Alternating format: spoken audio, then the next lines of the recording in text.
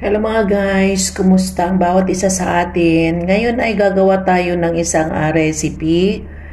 At ito ay yung potato na nilaga ko, bali apat na peraso, medium size. Nag-slice ako ng uh, sibuyas na dahon, katamtaman lang.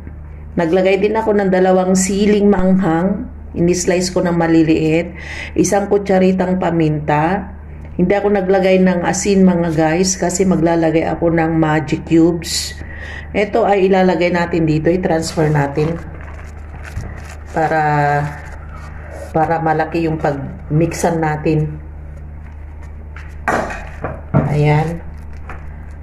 Ayan guys, yung ating uh, potato. Ngayon ay ilalagay na natin itong magic. Magic cubes. Ayan guys. Isang piraso ito. Mix lang natin. Ayan. At pumunta ako sa labas para mag-harvest ng dahon na malunggay. Imimix natin dito guys.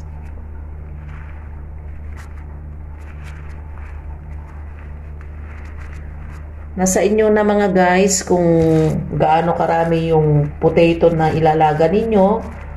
Tansyahin na lang ninyo yung dahon ng malunggay na inyong ilalagay. I-mix lang natin. Lamasin natin siya.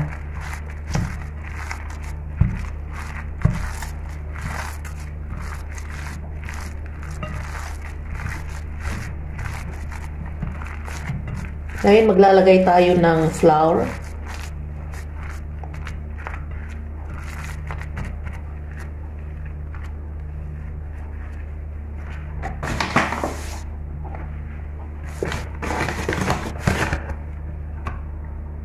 Sa paglagay ko ng flour mga guys ay tansyado na lang. Matatansya naman natin guys kung ilang kutsara, ilang glass yung ating uh, flour na ilalagay.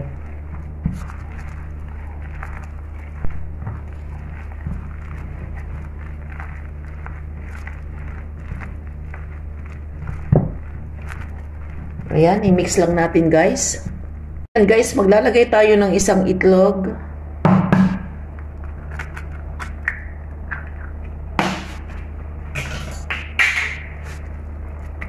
Mix lang natin.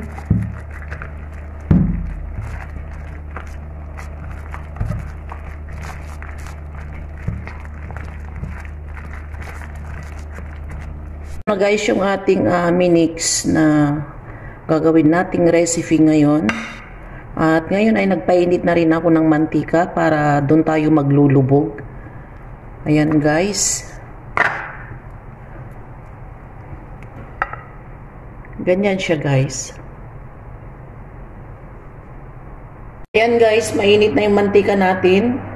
At ngayon ay maglulubog na tayo. Ibilog lang natin ng konti guys. Maliit lang yung apoy natin para hindi agad masunog.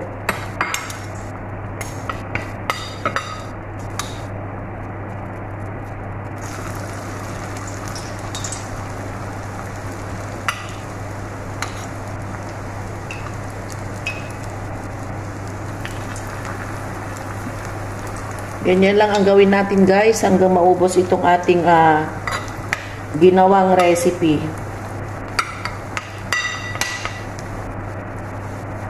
Ayan.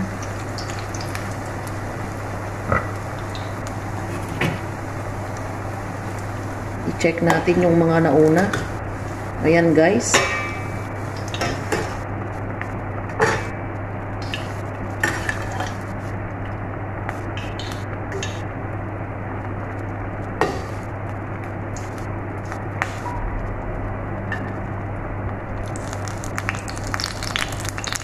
Lang ang gawin natin guys. I-brown lang natin na ganyan. Ayan guys, malapit nang maluto yung ating uh, recipe. Ayan, ganyan lang gawin natin mga guys. Naway magustuhan nyo itong aking uh, share na video sa paggawa ng potato malunggay.